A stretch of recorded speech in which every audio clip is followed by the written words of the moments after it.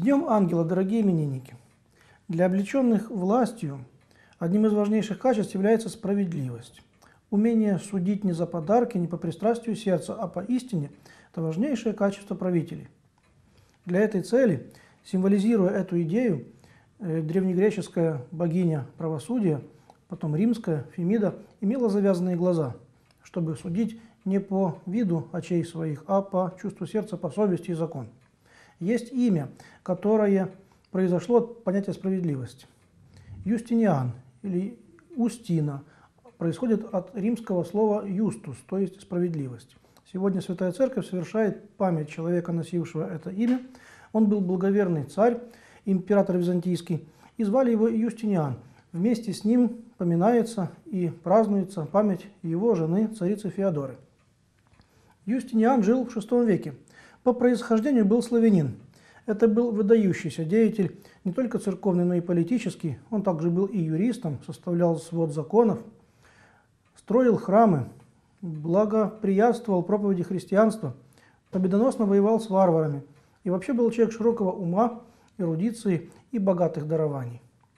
До сегодняшнего дня мир хранит память, архитектурную память о делах Юстиниана – Самыми большими храмами его эпохи были Святая София Константинопольская и храм Святой Екатерины на Синайской горе, монастырь.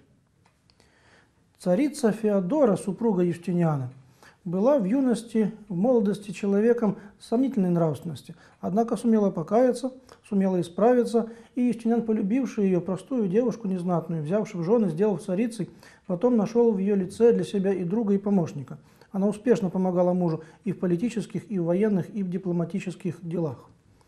Юстиниан был изрядным богословом. В его годы велась борьба с возродившейся ересью монофилитов, с оригенистами, несторианами, до сих пор терзавшими церковь. Юстиниан много молился, читал богословские сочинения, настаивал на духовном образовании клира и монашества. И до сегодняшнего дня, кстати, мы поем на богослужении гимн, вышедший из-под руки этого благоверного царя. Речь идет о литургической песне «Единородный сыне», которая поется на втором антифоне на божественной литургии.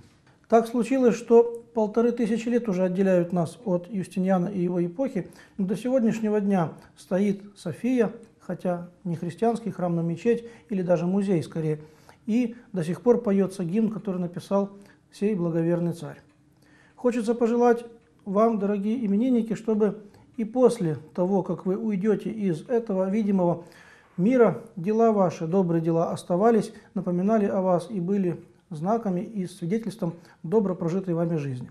Кроме Юстиниана и Феодора, мы сегодня рады поздравить с Днем Ангела Филиппа, Дмитрия и Григория. Радуйтесь, имена ваши написаны на небесах.